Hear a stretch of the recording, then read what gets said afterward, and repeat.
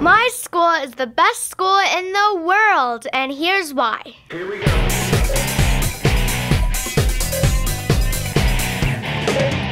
I go to Golden View Classical Academy, a charter school in Jefferson County.